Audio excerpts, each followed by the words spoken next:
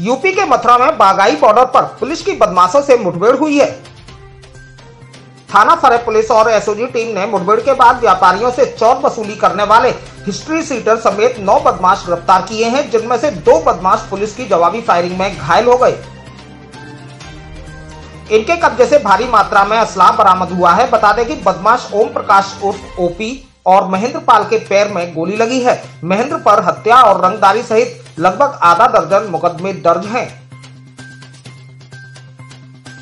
ना फराह और यशोजी की हमारी टीम द्वारा आज एक गुड वर्क करते हुए एक मजारिया हिस्ट्री सीटर जो महेंद्र पाल सिंह जिसका नाम है, पिछले काफ़ी दिनों से ओल के व्यापारियों से एक्सटार्शन कर रहा था और उनसे चौथ वसूली का प्रयास कर रहा था, जिसके संबंध में थाना फरा पर अभियोग पंजीकृत था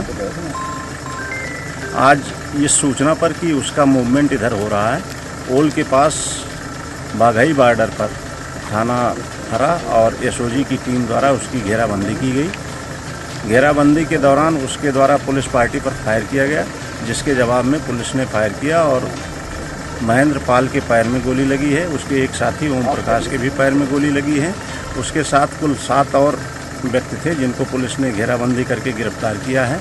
इनके पास से एक नाइन एम mm की पिस्टल, जो संदिग्ध है, उसके साथ एक अवैध तमंचा और पाँच 315 बोर की राइफलें बरामद हुई हैं, जिनकी सबकी जाँच की जा रही है। इनके साथ पकड़े गए हर व्यक्ति की आपराधिक गतिविधि की भी जाँच की जा रही है और उनके खिलाफ क्या मुकदमे हैं, इसकी जानकारी की जा रही है। इस बीच ओम महेंद्र पाल और इन लोगों का जो सेंटर था वो भरतपुर था और हम लोग भरतपुर पुलिस से भी जानकारी इनके बारे में कर रहे हैं।